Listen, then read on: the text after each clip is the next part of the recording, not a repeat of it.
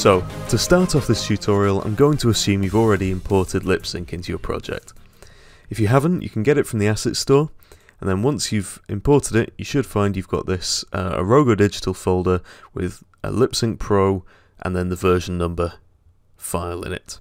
You double click that file, it's a Unity package, and it'll just import the, uh, the plugin into your project.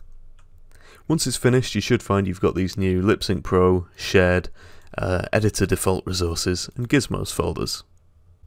In this first section of the tutorial, I'm going to run through setting up the plugin. So the first thing you'll want to do is go to Window, Rogo Digital, LipSync Pro, AutoSync Setup Wizard.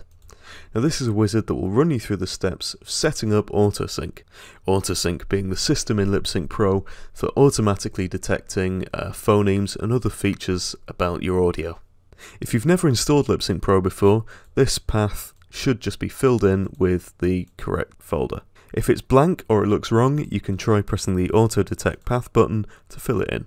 You can then press Continue, and you should see this little notification here. Now, the main part of AutoSync is a module called the Montreal Forced Aligner module. This module is the best way of getting good results out of your audio clips, but it's a little too big to include by default. So, if you press the Start Downloading Montreal Forced Aligner button, the extensions window will open and it will just automatically start downloading the right version for your operating system. We'll just wait for this to finish and then carry on.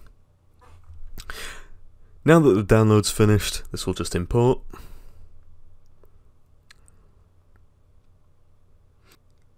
And now you can see that all the modules that are required are installed.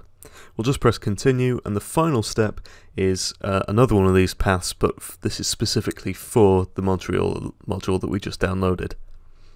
If that looks okay we can press finish and AutoSync is now set up and ready to use.